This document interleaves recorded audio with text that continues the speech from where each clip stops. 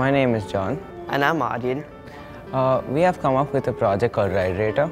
Ride Rater is an AI-based program which rates the driving quality of school bus drivers. School authorities invest a lot in transportation facilities and hire drivers to make transportation easier for students. As they drive for school students, they are expected to make the students reach school on time as well as take them there safely.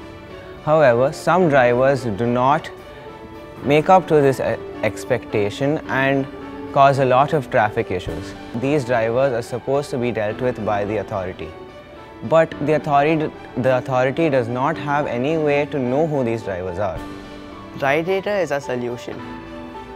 It rates the driving quality based on the acceleration, turning and braking and, and rates it as good, bad or moderate.